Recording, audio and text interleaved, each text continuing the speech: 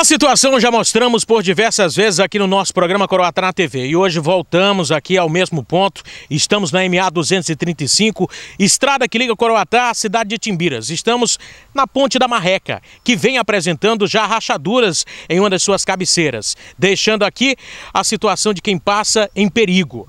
Para se ter uma ideia, aqui quem vai para Timbiras e quem vem só passa por um lado da ponte.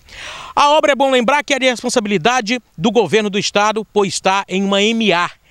Mas não custa nada o município resolver essa situação, porque o problema aqui é apenas a cabeceira dessa ponte e um trecho logo depois dela em direção a Timbiras que está ruim.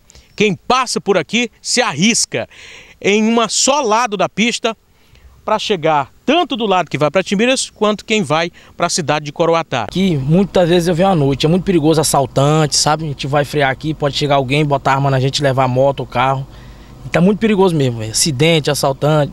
Esse problema é antigo e todas as pessoas que passam aqui passam devagar, porque senão pode se tornar vítima de um acidente na cabeceira dessa ponte. É um pouco complicado, tanto essa ponte aí como uma boa parte do, da da estrada lá tá, tá, tá muito danificada, viu?